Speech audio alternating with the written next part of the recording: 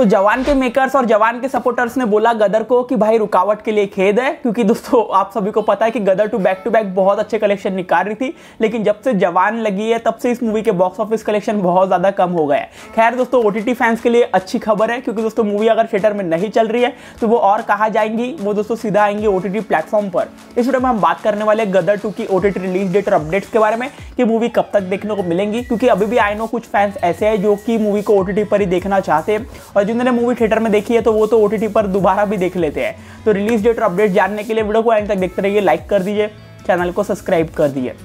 इस मूवी के total box office collection के बारे में बात करें तो इस मूवी का जो अभी तक टोटल कलेक्शन हो चुका है, वो लगभग 513 करोड़ का है, जो कि बहुत ज़्यादा अच्छे है। लेकिन दोस्तों, ऐसा लग रहा था कि ये मूवी पठान का रिकॉर्ड तोड़ देंगी। लेकिन दोस्तों, अगर जवान नहीं लगती ना गारंटी के साथ ये मूवी पठान के इंडियन बॉक्स ऑफ़िस कलेक्शन का रिकॉर्ड तोड़ देती, जो कि था दोस्तों लगभग पाँच करोड़ फाइव करोड़ मतलब भाई, नहीं टूटा वो रिकॉर्ड अब जवान तो अलग ही रिकॉर्ड क्रिएट करने में लगी हुई है।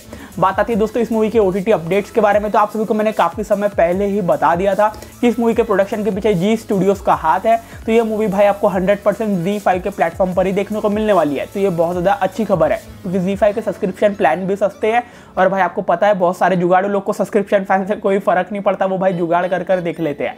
और बात करें इसकी ओटीटी रिलीज़ अपडेट को लेकर, आप सभी को पता ही होगा कि दोस्तों मूवी अभी भी थिएटर में चल रही है, भले इसके बॉक्स ऑफ़िस कलेक्शन ज़रूर से ड्रॉप हुए, लेकिन थोड़े टाइम तक ये लगे रहने वाली है, क्योंकि इसके कलेक्शन अभी भी एक से डेढ़ करोड़ का मतलब कलेक्शन कर पा रहे हैं। तो ये ठीक ठाक मतलब अच्छा कमा रही है अभी भी। तो बात आती है ओटीटी रिलीज़ डेट को लेकर तो ये बात पक्की है कि मूवी आपको अक्टूबर के मंथ में ही देखने को मिलेंगी। और रिलीज़ डेट का आपको आइडिया दूँ तो आप मानकर चल सकते हैं। रिपोर्ट्स के अकॉर्डिंग आपको ये मूवी देखने को मिलेंगी। छः अक्टूबर या फिर तेरह अक्टूबर ये दो डेट्स के आसपास आपको ये मूवी रिलीज़ होते हुए नज़र आएँगी। मोस्टली दोस्तों, तेरह अक्टूबर के अराउंड गदर टू ओटीटी पर रिलीज़ हो जाएँगी। क्या सोचते हो इस मूवी के बारे में? अगर आप एक्साइटेड हो कमेंट में ज़रूर बताना। वीडियो पसंद आएँगे लाइक कर दो सब्सक्राइब कर दो। चले मिलते हैं नेक्स्ट वीडियो में।